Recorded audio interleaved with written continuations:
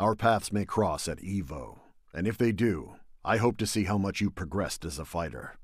I'll see you around.